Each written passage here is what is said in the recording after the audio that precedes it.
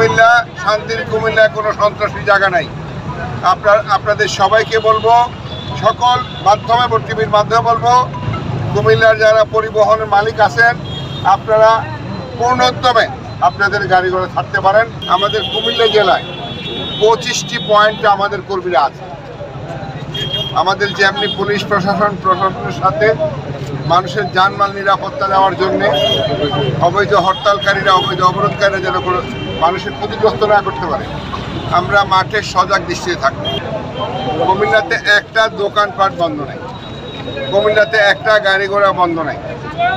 এই সকাল থেকে কুমিল্লার জেলার জেলার পর্যায়ে সকল গাড়ি ছেড়েছে। এখন থেকে ঢাকাগামী সব গাড়ি ছাড়বে।